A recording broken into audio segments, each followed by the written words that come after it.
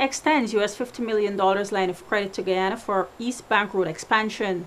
GPHC receives $11 million ambulance to enhance emergency medical response. Local government ministry employees reflect on 2014 successes and challenges. And Cabinet gives approval for the appointment of Cricket Ombudsman. This GINA News Capsule, I'm Janelle Carter. Good evening.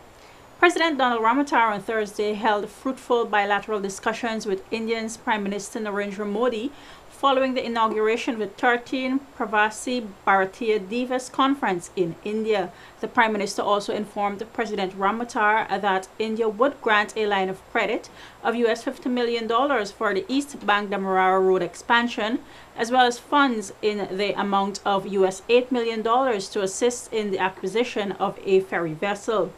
The Indian government will also work with the Guyana government in a pilot project on renewable energy using a rice husk gasifier. Meanwhile, President Ramotar was among 15 non-residential Indians who received the Pravasi Bharatiya Samman Award. The president is on a six-day official visit to India. The Ministry of Local Government and Regional Development held its third annual staff retreat under the theme Moving Forward in 2015 with Renewed Purpose. This two-day event, which commenced on Thursday, is aimed at providing a forum for staff to make presentations for examination and discussion, their achievements and challenges in 2014, and their plans for 2015. So one of the first things I want to do is to urge you to examine and to see the team as not being a set of words pulled out from a hat or extracted from the dictionary, but carefully put together to reflect the purpose of this two-day engagement. The minister also emphasized the need for collaboration between the ministry and regional democratic councils, municipalities, neighborhood democratic councils, community development councils, and other sector ministries to pursue common goals. He noted the importance of accountability and transparency, which he said should be high on the agenda for 2015.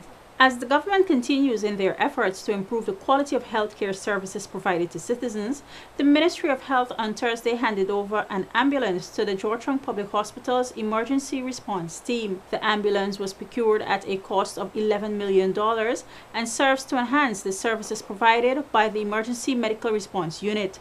This team has been complementing the services offered at the hospital over the past year. It was set up since February 2014 after the technicians underwent training in emergency response. Members have thus far responded to approximately 3,000 emergency calls coming out from various regions and districts in the country.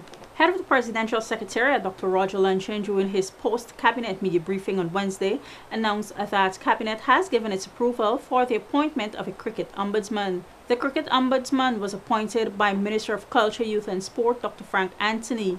Dr. Winston McGowan is the first cricket ombudsman to be appointed to Guyana, subsequent to cabinet's approval.